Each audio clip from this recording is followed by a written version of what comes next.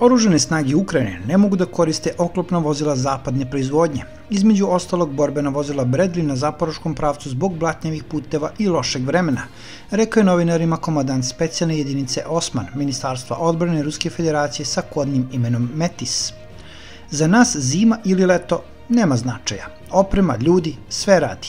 Njima je možda nešto komplikovanije, jer su imali svoju taktiku, menjale su se vremenske prilike, oprema iz inostranstva i ne prolazi baš kroz naša mesta. Oklopna tehnika ne prolazi, Bradley se odmah zaglavi, rekao je Metis.